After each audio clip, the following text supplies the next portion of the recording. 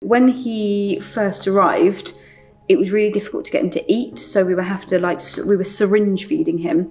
And even with a syringe, he was very, very reluctant to eat. And I mean, he was this size, he was so tiny and so frail. Picking him up was terrifying because he was just so little. Um, he fit into the palm of your hand and he'd shiver and it was, oh, it was awful. Um, so he came in because I think he was so small.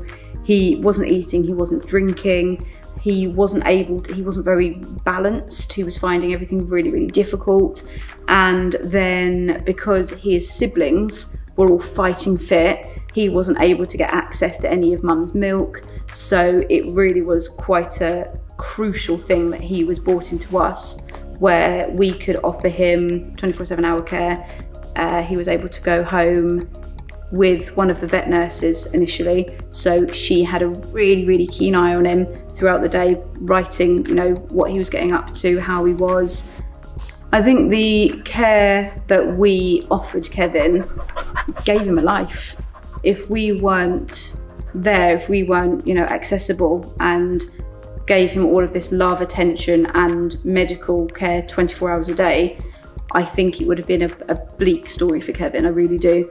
And um, it was really lucky that we intervened and had the support and had the knowledge to be able to help him so quickly and get him to that fighting fit stage. Kevin?